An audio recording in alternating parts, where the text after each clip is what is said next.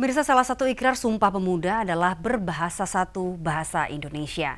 Ironisnya, kini bahasa Indonesia yang baik dan benar justru dianggap kaku. Para pemuda masa kini cenderung menggunakan bahasa gaul dalam kehidupan sehari-hari. Dan pemirsa berikut liputan khusus kami jelang Hari Sumpah Pemuda.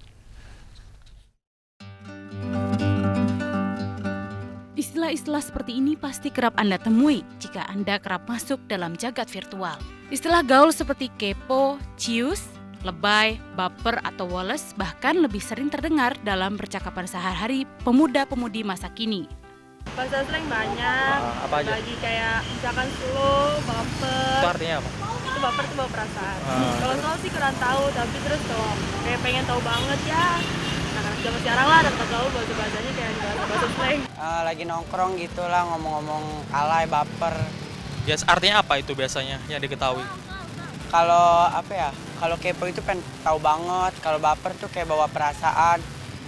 Kalau alay itu kayak gimana ya gayanya kayak alay gitu.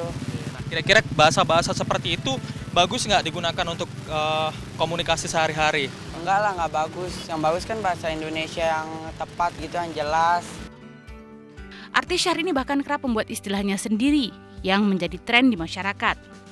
Meski tidak mengikuti kaidah berbahasa Indonesia yang baik dan benar sebagai bahasa pemersatu bangsa, ragam bahasa gaul seperti ini harus bisa digunakan sesuai konteks dan kondisi. Pemirsa sebagian besar masyarakat masih mengetahui tanggal 28 Oktober diperingati sebagai Hari Sumpah Pemuda. Dalam perjuangan kemerdekaan Indonesia, tanggal 28 Oktober 1928 lalu, di mana perwakilan para pemuda dari seluruh Indonesia mengadakan kongres dengan menghasilkan tiga isi atau tiga kesepakatan. Di antara yang pertama, bertanah air satu, tanah air Indonesia.